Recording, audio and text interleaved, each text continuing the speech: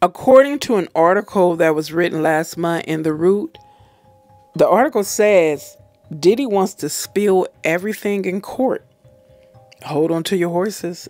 Also, I saw a few vids saying that Diddy was afraid to eat in prison, afraid of being poisoned.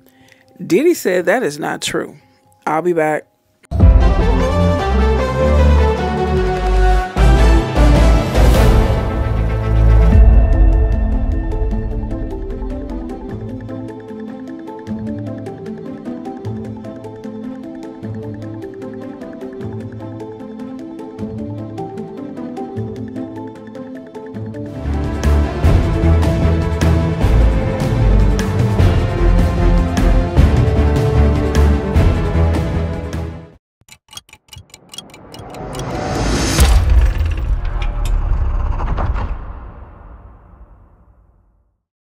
Hey, hey, welcome back, everybody. Those who are returning, I appreciate you. New to the channel, appreciate you too. Check this out.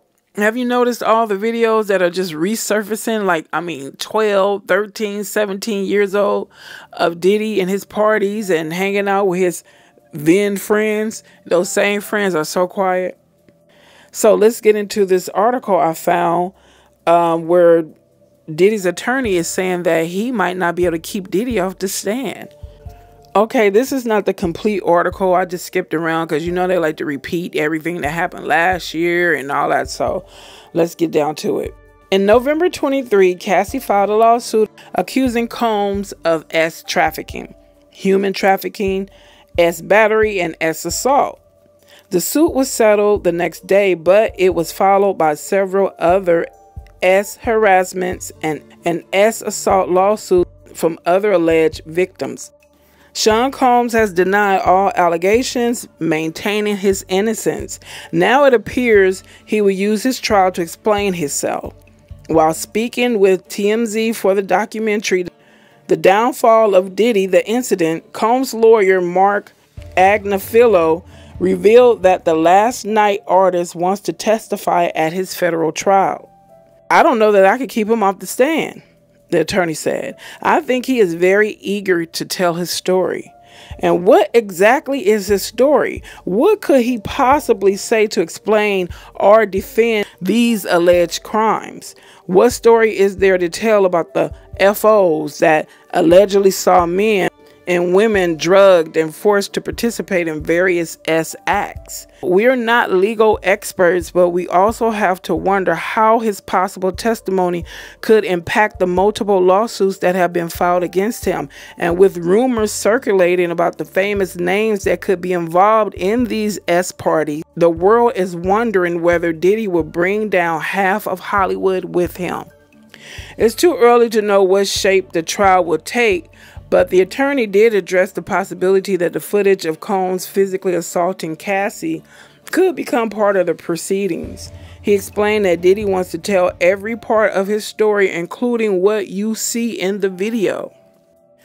I expect it's going to be explained by both of us, the attorney said. The trial and the possibility of him testifying makes his words from the, the resurfaced clip feel even more explosive. During an interview about his late father's criminal past, Diddy ends the conversation by proclaiming that everyone who's followed his career needs to pay attention because you got to see this movie all the way through. Believe me, I got an action packed ending for you.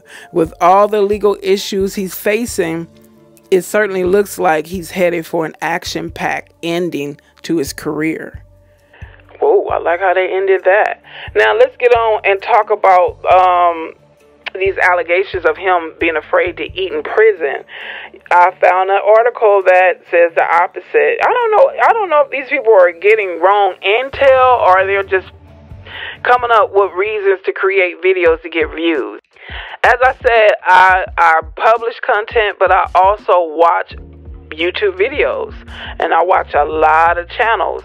And when I come across channels that just, you know, ugh, just burns my arse. Let's continue. Diddy responds to reports that he's not eating in jail.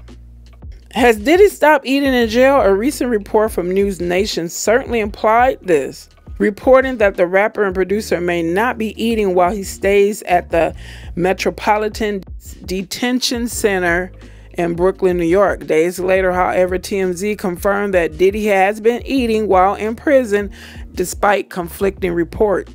TMZ reported that Diddy is having his meals and is not paranoid about what's going into his food, as some have suggested. According to the outlet, a source close to Diddy relayed that the reporting surrounding his food was not true and that he is eating the normal food provided at the detention center like any other inmate. The original report stemmed from source close to Diddy that believed that the rapper may not be eating while behind bars due to being paranoid and scared. Former inmate Larry Levine told the outlet there's people out there that he has things on that do have a substantial amount of money. Imagine if someone pays someone off on the inside to actually poison his food, giving him a heart attack, and he dies, and no one would really think anything of it, Levine added. So that may be one of the reasons he's not eating.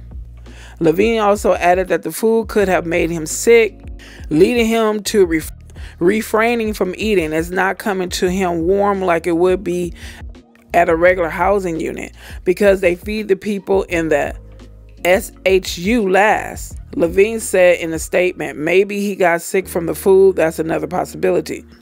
Diddy is staying in a special housing unit due to his celebrity status and the high profile nature of the case, as we reported last week. While he is reportedly in SHU for his own safety, he is not given any special treatment, even though he is separated from the rest of the inmates. Combs' mental health has become a concern as he was placed on suicide watch last week as he awaited his trial.